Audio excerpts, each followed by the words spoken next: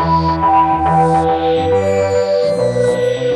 story for Terror of the Autons is the Doctor is still trapped on Earth and unable, unable to use the TARDIS, but the Time Lords are looking for out, out for him. They send warning that the Master has come to Earth, and the Doctor soon discovers that the dangerous Time Lord is also working alongside the Nestene Consciousness, controller of lethal Auton creatures. Once again, the planet is in terrible danger. Can the Doctor and his new assistant Jo Grant save it before it's too late and the true terror of the Autons is revealed? Other than the return of the Autons, there is really only one thing you are interested in the Master. I know the feeling, I want to talk about that too, but I want to get to the other important topics before I forget.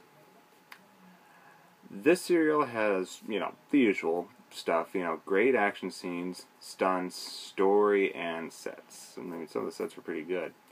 The visual effects, however, were a little cheesy. The blue screen moments were too obvious.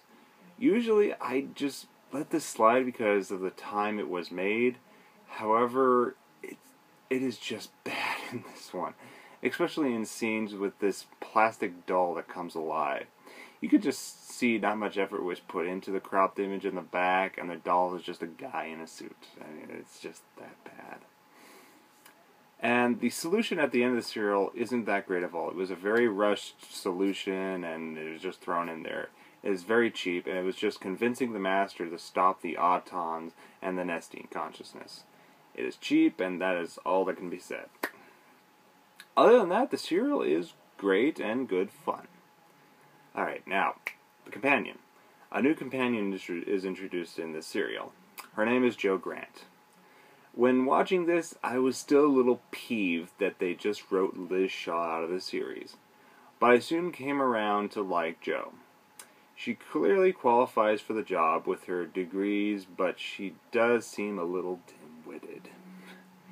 However, she says she has a degree in escapology, and that comes in handy in future episodes but her character is what won me over. She is sweet and eager and reminds me of earlier female companions, who are just strong and yet vulnerable. And over time, becomes a good companion, I must admit. Okay, now, the one we all have been waiting for the Master. This is the first appearance of the villain. The name was used in the in the serial The Mind Robber, if you remember that one, but that wasn't the same character. The Master is played by the Master in this is played by Roger Delgado. Roger Delgado gives the Master a classic villain portrayal. He has the sense of respectability, class, and the classic mustache twirling villain.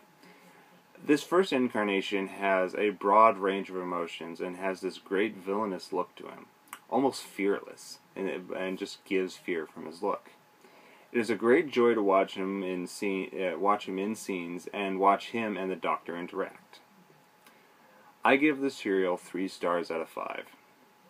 This serial begins Series 8 of Doctor Who, a series, a series dominated by the Master, for he is in every serial as the villain. But we'll get to that later in the future ones. See you on the next review.